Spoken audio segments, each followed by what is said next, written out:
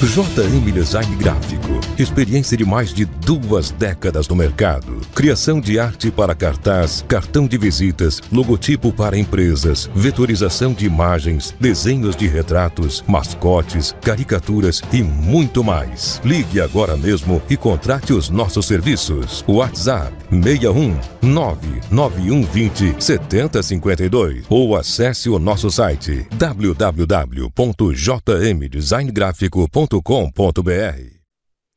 Olá pessoal, tudo bem? Sou Jesusmar Moreira e estamos de volta para mais uma videoaula aqui para o canal JM Design Gráfico. Seja bem-vindo. Muito bem pessoal, na aula passada eu ensinei vocês a criar e configurar um documento para impressão em gráfica onde eu ensinei você a trabalhar com margem de segurança, com sangria, expliquei os conceitos de margem de segurança, sangria e perfil de cores. Então, se você é, não assistiu essa aula, é muito importante que você volte lá e assista essa aula. Eu vou deixar o link na descrição deste vídeo aqui para você estar assistindo essa aula anterior e depois você volta e assista essa aqui. Mas se você é, não quer aprender os conceitos agora, você pretende apenas fazer o cartaz, então, nós vamos criar um documento do zero aqui. Então, vem comigo. Eu vou vir aqui em telas de boas-vindas. Vou criar um novo documento em branco. Aqui destino predefinido, eu vou clicar e vou colocar padrão do CorelDRAW. Aqui em tamanho largura, eu vou colocar 300 milímetros. A altura, eu vou colocar 450 milímetros. Lembrando que aqui eu só vou fazer, não vou explicar nada aqui, porque na aula anterior eu expliquei tudinho. Se você quiser saber os detalhes, volta lá e assista a aula anterior, tá? Que eu só vou fazer, tá ok? Pronto, já está tudo configurado no padrão que eu quero, vou clicar em OK. Em seguida, eu vou vir em Layout, vou em Configurar Página, vou marcar sangramento de 3 milímetros, Vou marcar, mostrar área de sangramento. Vou vir em linha guia, vou em predefinições, vou em margem de segurança de 1 centímetro, predefinição da Corel, vou aplicar predefinição. Vou clicar em OK. Pronto, já está configurado. Vou pegar uma linha guia, vou colocar na borda da minha folha. Antes, vamos alinhar aqui, eu vou vir aqui, vou marcar, alinhar objeto, alinhar diretriz e páginas. Ok? e vamos colocar as linhas guias nas quatro bordas da folha.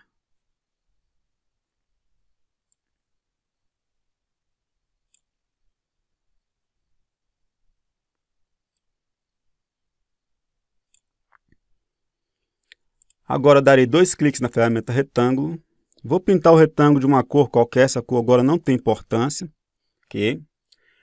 Vou selecionar aqui, vou acrescentar margem de segurança ao meu projeto, então vou vir aqui aqui está 300. Vou clicar depois do MM, vou digitar 6.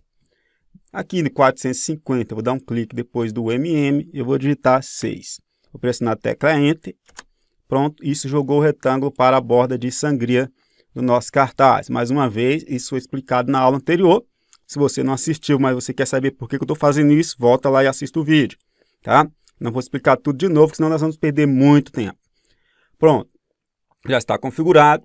Vou vir aqui em arquivo, salvar como. Aqui já vou dar o nome para o meu cartaz, então vou colocar aqui cartaz.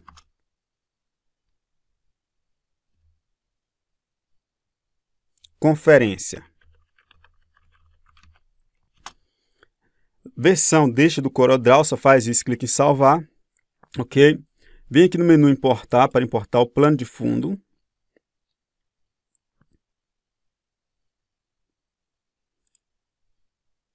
Selecione essa imagem que é o plano de fundo aqui, clique em importar.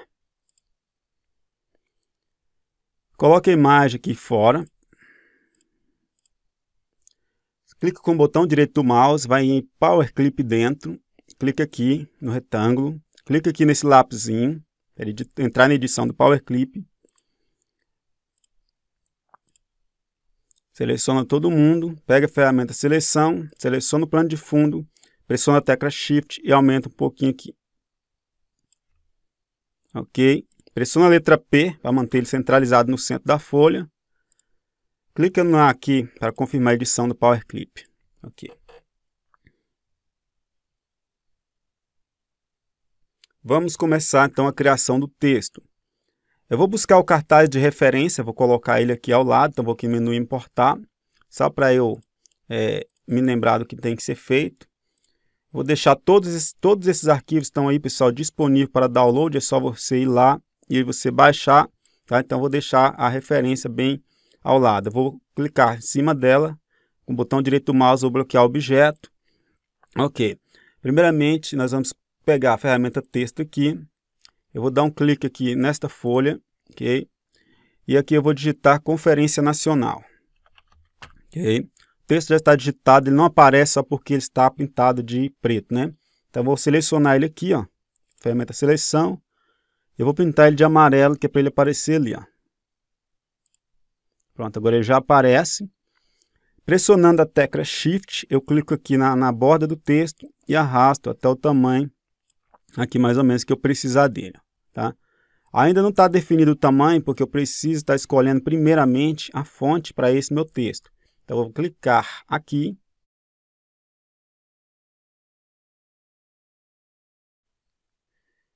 Pronto, vou colocar ela aqui, tá? E agora eu vou fazer o texto principal, que é o adoração. Clicar aqui sobre ele, dar um clique, vou escrever a palavra adoração. Vou pintar também de amarelo.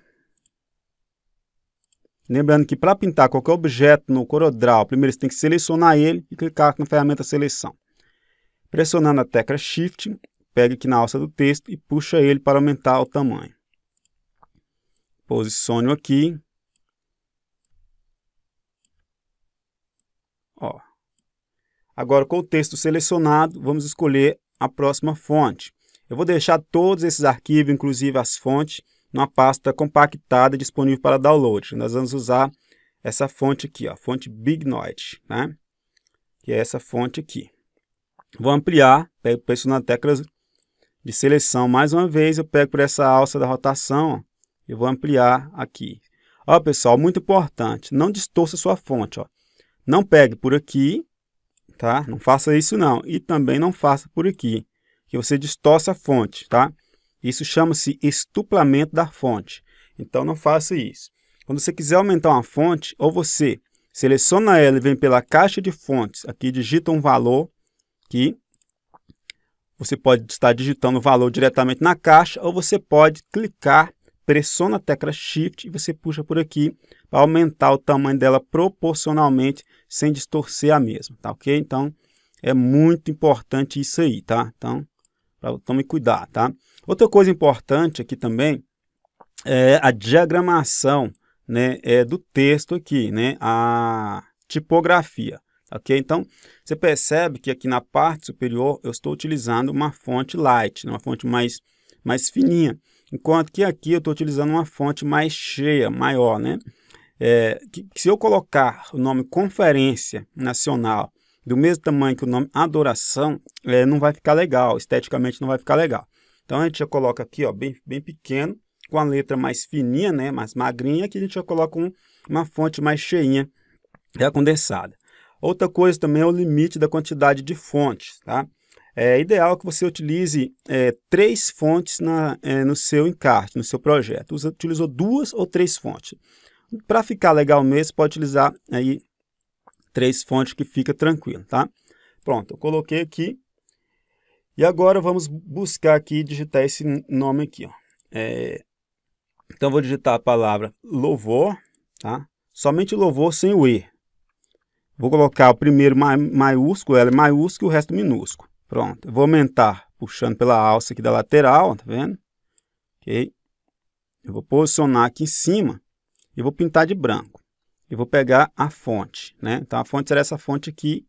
Eu vou deixar as três fontes aí disponíveis para download, você pode baixar.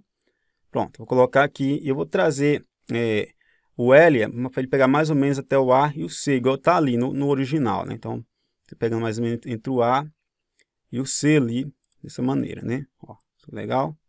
Bacana. Pronto. Agora nós vamos fazer o E. Vou pegar aqui, vou digitar o E, minúsculo aqui. E eu vou posicioná-lo aqui. E vou colocar a mesma fonte para ele. Ó, viu que não pegou a fonte porque a ferramenta de seleção não estava ativada. Então, aí, é por isso que às vezes você vai colocar a fonte, a fonte não pega, tá? Ó, agora foi, eu coloco o Ezinho aqui, pintá-lo também de branco, tá? Tá lá. Agora, nós vamos colocar a foto do personagem antes de nós estarmos colocando o texto da pessoa, do personagem ali. Só que antes vamos selecionar o texto branco, que é esse aqui. Vamos vir aqui na opção de efeitos, vamos colocar um sombreamento, tá? Eu vou pegar sobre ele e eu arrasto ó, de cima para baixo, observando aonde eu quero que a sombra apareça. Então, eu solto. Ok. Só que a sombra aqui ela quase não apareceu. Então, para que ela apareça mais, eu vou vir aqui, vou mudar o modo de multiplicação para normal. E vou diminuir aqui, a, aumentar a transparência, diminuir a transparência puxando essa barrinha para cá. Ó. Percebe que agora ela já apareceu mais. Ó. Ok. E vou vir aqui ó, nessa opção, vou clicar aqui e vou diminuir também isso aqui. Ó que é o enevoamento. Olha só, agora sim ela já aparece, já dá um destaque para o nosso texto. Eu posso fazer a mesma coisa com esse texto aqui de baixo aqui. Então, vou pegar esse texto, primeiramente vou clicar com o botão direito do mouse sobre a opção de contorno, eu vou adicionar um contorno para o nosso texto. Vamos colocar a sombra a ele primeiro, né? Vou colocar a sombra, é para a gente ter um destaque do texto em relação ao plano de fundo, tá? E vamos fazer as mesmas configurações que nós fizemos para o, o, o texto de baixo. Vou colocar em normal, aqui eu coloco em 8 ou 7 e diminuo a opacidade puxando essa barrinha para baixo. Então você veja que a sombra do nosso texto já, já aparece ali dando um, um destaque ao texto. Né? Aqui, essa parte aqui não precisa, pois o fundo é totalmente preto e a sombra não vai aparecer ali. Tá? É, Agora, eu vou pegar esse texto, eu vou adicionar um contorno, clicando com o botão direito do mouse sobre é, a cor branca aqui, para adicionar um contorno a esse nosso texto aqui. E eu vou aumentar a espessura do contorno. Para isso, eu vou clicar aqui embaixo nessa seta dupla, clico no lápis, escolho a espessura que eu desejo para o contorno. Eu acho que ela está fina, eu vou ter que colocar 20 pontos. Pronto, tem um contorno de 20 pontos para esse texto que está por baixo. Vamos aplicar um preenchimento de gradiente. Vou pegar a ferramenta degradê e vou clicar e arrastar, criando um gradiente aqui. Ó, tá? Só que essa parte mais clara eu vou deixá-la para cima e a parte mais escura eu vou deixar para baixo desse meu preenchimento. Tá? Agora vamos mudar essas cores aqui. Eu vou vir aqui na paleta de cores, vou clicar nessa setinha aqui e aqui eu vou pegar a cor, que eu tenho a cor laranja claro, vou arrastar, eu vou colocar em cima, substituir esse amarelo aqui, tá? O tom laranja claro, vou puxar para cá. E eu, em seguida eu vou voltar lá, vou puxar o tom abaixo do laranja claro, eu tenho a cor ouro.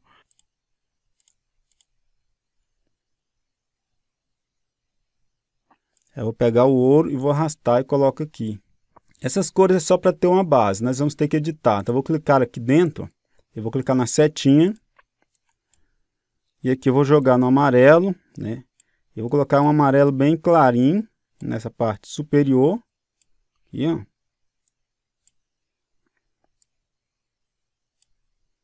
Ok.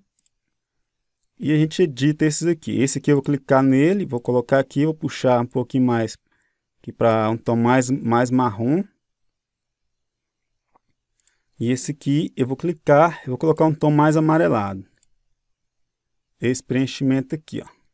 Vamos fazer o seguinte, agora após aplicar o preenchimento gradiente, nós vamos remover esse contorno aqui, vou, com o botão direito do mouse nesse X acima da paleta de cores, vamos deixar ele sem, sem o contorno, ele vai ficar assim, ó, tá? E a gente vai fazer o seguinte, a gente seleciona ele, a gente vai vir aqui, vamos colocar outro contorno, colocar esse contorno aqui, ó. Pronto. E aqui a gente coloca contorno externo, você clicou, ó, você veja que já aparece um contorno ali, que é o contorno externo, é, para esse objeto aqui, observando ali a etapa de contorno, apenas uma etapa pra, de contorno, tá ok? E aqui você configura o espaçamento aqui, o deslocamento do contorno. Vou colocar 2,54, tá? Pronto, eu terei meu texto, ó, desse jeito aqui. Só que eu preciso é, é estar mexendo nesse preenchimento aqui. Agora eu vou clicar sobre esse objeto e vou clicar com o botão direito separar grupo de contorno. Isso vai separar o contorno ó, do meu texto principal. Então, eu tenho dois objetos. Tá? Bom, a, a princípio, eu vou pegar esse preenchimento aqui, que está vendo que está aqui por trás aqui, e nós vamos inverter essa cor. Pressiono a letra G, eu clico aqui em inverter, de, de modo que a parte clara vai para cima e o escuro vem para baixo, eu conseguirei ter um contraste melhor. Em seguida, nós vamos estar selecionando esse texto que está aqui por cima aqui, e vou clicar aqui na opção de gradiente dentro desse baldinho para entrar nas configurações do gradiente. E eu vou é, estar mudando esse gradiente. Então, vou clicar aqui nessa setinha dupla e vamos pegar um gradiente aqui das minhas pré-definições. Bom, no CorelDRAW é, 2018, quando você instala os gradientes, ele vai ficar na pasta conteúdos do usuário ou na pasta que você criou com o seu nome. Numa videoaula anterior, eu ensinei a instalar os gradientes e nós criamos a pasta GRA Jesusmar. Então, eu vou selecionar a pasta GRA, GRA Jesusmar, que nós utilizamos na videoaula, e eu vou ativar aqui esse preenchimento de gradiente aqui para o meu texto. Pronto. Virei aqui na opção de rotação, eu vou mudar aqui para 90 ou menos 90, vou colocar menos 90 aqui e vou dar um Enter. Pronto, aí o texto vai ficar ó, desse jeito.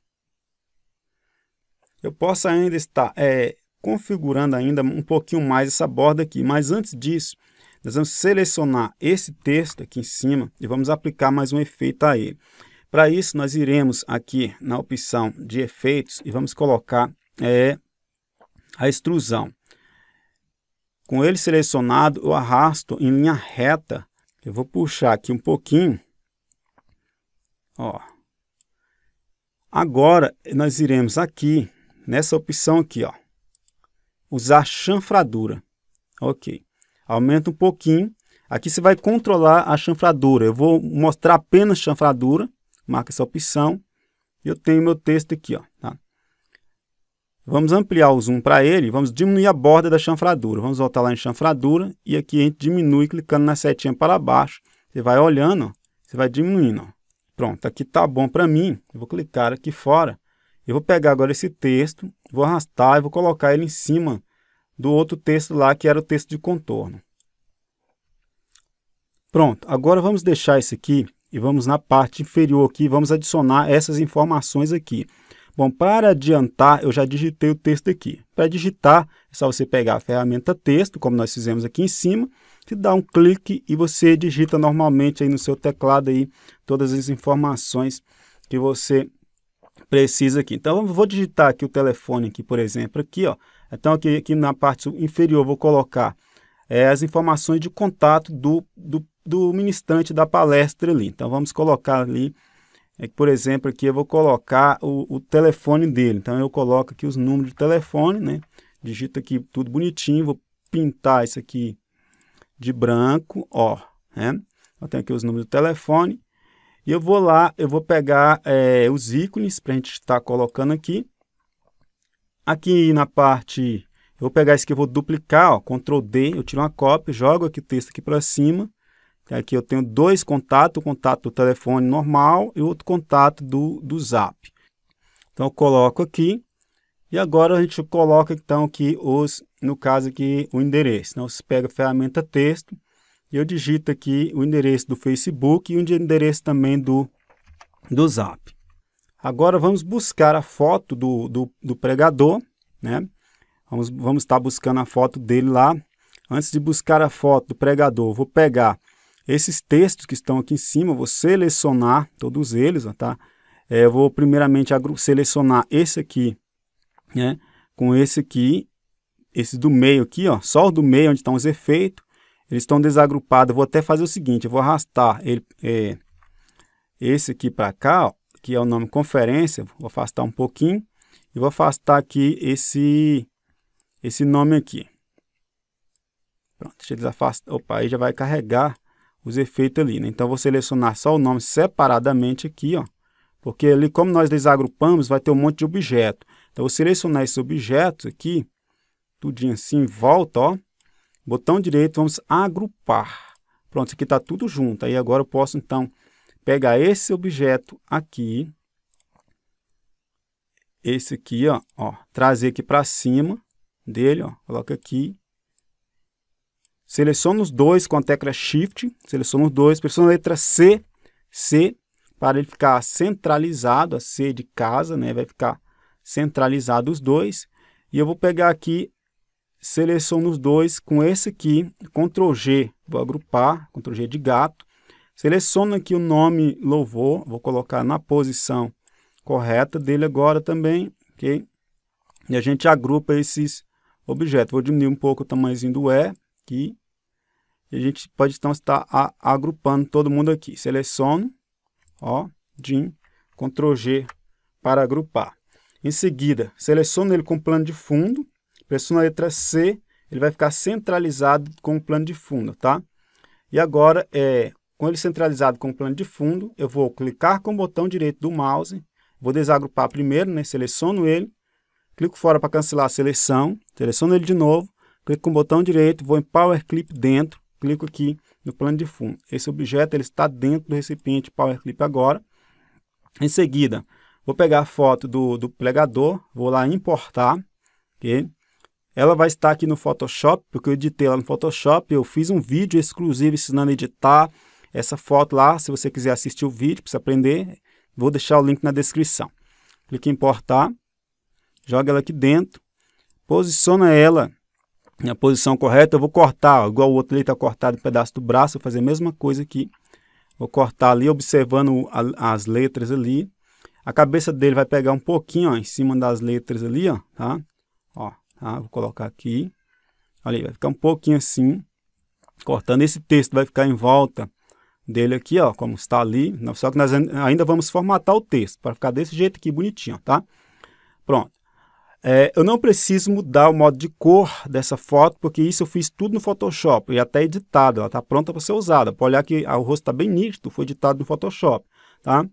Bom, é, o segundo passo é adicionar uma sombra a essa foto. Então, vou selecionar ela, vou pegar a ferramenta de sombreamento aqui, vou clicar sobre a foto, e nós vamos pegar aqui e vamos colocar incandescente pequeno. Pronto, ela está com a sombra incandescente, lá, só que está aquela cor ali, eu não quero aquele tom, que eu faço? Eu vou vir aqui ó, na cor, clico na setinha, pego conta-gotas e vou copiar o tom do plano de fundo. Então, tem a sombra que é o mesmo tom do plano de fundo. Isso vai me ajudar a ter uma mesclagem ideal aí com a foto e seu plano de fundo, tá bom? Ok. Em seguida, o que eu posso fazer também é adicionar uma pequena... É, eu, vou puxar primeiro a imagem aqui, bem para a borda aqui, ó. Deixa ela bem na borda mesmo. É, no, no, em relação a fotos, como eu falei, como a intenção é cortar a foto, então eu posso deixar ela passando, tá? E eu vou pegar aqui a ferramenta de transparência e vou aplicar uma pequena transparência na borda dela, que é para criar uma ambientação legal entre a foto e o plano de fundo, tá? Né? Criar um, pouco de ambientação. Legal. Pronto. Agora, a gente vai selecionar essa foto com o botão direito do mouse, vamos é, Power Clip dentro. E eu clico dentro do Power Clip, ele cortou a foto. Então, se você seguir rigorosamente a maneira que eu estou utilizando para fazer esse cartaz, quando você exportar ele para PNG ou JPEG, você não vai ter aquelas bordinhas brancas que as pessoas costumam deixar aqui, porque não tem o conhecimento técnico da coisa. Então, é bom você é, seguir direita, direitinho o tutorial aí, a videoaula, é para fazer da maneira correta. Pronto. Então agora só o que falta para nós aqui é estarmos formatando esse, os textos. Bom, então primeira coisa você tem que entender é a questão de tamanho de fonte. Então vou selecionar é, a fonte de cima, que deixa eu colocar aqui, e nós vamos colocar a, essa fonte aqui, a fonte é, grande, né? Que é essa aqui, grande Builder, né? Essa aqui não. Essa é essa aqui, ó. É Beardy. Essa aqui, ó, tá? Colocar ela. Ok, coloca aqui. Seleciono aqui também, coloco. A data eu quero maior, pressiono tecla Shift, vou ampliar até eu preencher essa área de espaçamento aqui, ó. Cuidado para não, não, não arrastar o cartaz. Então aqui eu tenho a data, né? Aqui vai, a conferência vai ser o nome do pastor, vamos colocar aqui, com o pastor Carlos Andrade. Eu coloco o nome dele aqui. Ó, olha só observação para os tamanhos, né? Então, ó, nome Carlos Andrade vai aqui em cima, ó, vendo? Do nome é, conferência, né? E aqui vamos colocar o local, que é a Assembleia. Aqui nós já vamos mudar a fonte. Ó, vamos selecionar aqui a fonte, vai na opção aqui de alinhamento, põe centralizado. Seleciona todas essas fontes aqui e você vai colocar essa fonte aqui, ó. Essa fonte aqui, Rounded, né? Pronto, você colocou ela. Ok, agora vamos dar destaque para o nome da igreja, que no caso seria Assembleia de Deus. Aqui a gente vai selecionar, vai formatação, vou colocar centralizado aqui. Aqui o nome Assembleia, né, que é o local de, do evento. Vamos aumentar o tamanho da sua fonte, eu vou preferir vir por aqui, colocar ele mais evidência em relação ao endereço. E o endereço a gente seleciona e a gente diminui. Lembrando que a fonte está 24, o, Aqui o máximo, o mínimo que você pode colocar aqui é 14, tá? Para não ficar muito pequena. Então, vou colocar aqui é, 16 para essa fonte aqui que é o endereço. Coloquei 16 para ficar bacana. Né? Então, é o endereço da igreja, vou colocar perto da igreja. E a igreja aqui, eu coloquei a fonte está 29. Né? Então, coloquei 29 por 16, né? Relação de dobro, tá, pessoal?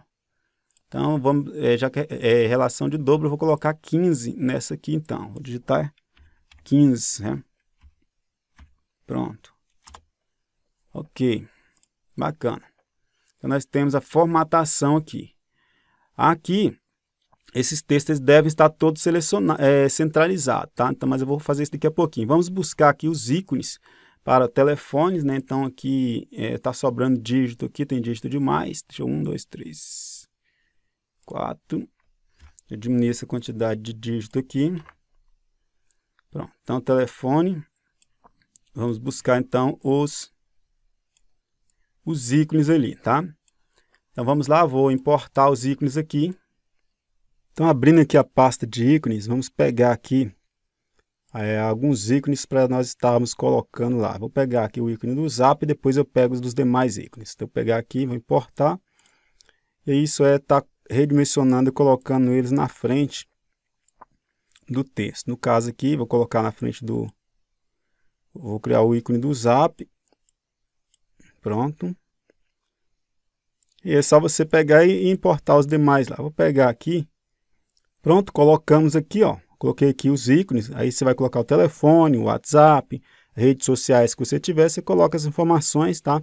Então, é, observando sempre a escala de fonte. Então, eu vou selecionar aqui agora esse texto aqui, ó, em volta com a ferramenta seleção, eu pressiono a letra C. A, letra C de casa vai centralizar esse texto para mim. Aí vai ficar tudo ó, alinhado aqui e centralizado aqui, tá? É, vou dar um Ctrl G para ele. E aqui ó, você observa que tem uma linha guia aqui. Então eu vou pegar esse texto e vou jogar ele para cá, tá? para dentro da linha guia, vai ficar bonitinho aí.